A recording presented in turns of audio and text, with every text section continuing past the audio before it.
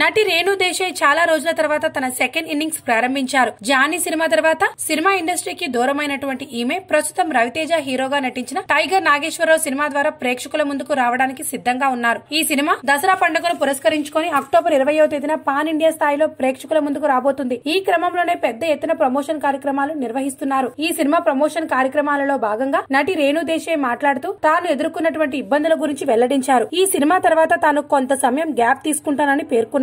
అయితే ఇలా ఇండస్ట్రీకి గ్యాప్ తీసుకోవడానికి కారణం లేకపోలేదు. ఈమె గత కొద్ది రోజులుగా ఒక భయంకరమైనటువంటి సమస్యతో బాధపడుతున్నట్లు వెల్లడించారు. రేణు దేశాయ్ మయోకార్డియల్ బ్రిడ్జ్ అనే సమస్యతో బాధపడుతున్నారట. ఇది గుండెకు సంబంధించిన జబ్బు కావడంతో డాక్టర్లు కూడా చాలా జాగ్రత్తగా ఉండమని సూచించారట. ఈ సమస్యకు తాను మందులు వాడటం వల్ల అధికంగా శరీర బరువు పెరిగిపోతున్నానని ఈమె తెలియజేశారు. ఇలా మెడిసిన్ వాడటం వల్ల కొన్నిసార్లు కోమాలోకి కూడా వెళ్ళే అవకాశం ఉందని డాక్టర్లు తెలియజేసినట్లు రేణు వెల్లడించారు. మయోకార్డియల్ బ్రిడ్జింగ్ అంటే గుండెకు రక్తాన్ని సరఫరా చేసే ధమనులు అవయం ఉపరితలంలో ఉంటాయి. కానీ కొందరిలో ఈ ధమనులలో ఒకటి గుండె కండరాల్లోకి వెళ్తూ మళ్ళీ బయటకు వస్తుందట. కొందరికి పుట్టుకతోనే ఈ సమస్య వస్తుంది. అలాంటి వారికి ఇది ప్రమాదం కాదని గుండె కండరాలకు వెళ్ళే రక్త ప్రవాహాన్ని తగ్గిస్తుందట. వ్యాయామం చేసే సమయంలో ఛాతి నొప్పి లేదా అసౌకర్యానికి గురి చేస్తుందట. కొందరిలో గుండెపోటు అవకాశాలు కూడా ఉన్నాయని తెలుస్తోంది. ఇలా ఈమె గురించి ఈ విషయం తెలియడంతో అభిమానులు కూడా ఈమె ఇలాంటి భయంకరమైన వ్యాధితో బాధపడుతున్నారా అంటూ ఆందోళన వ్యక్తం చేస్తున్నారు.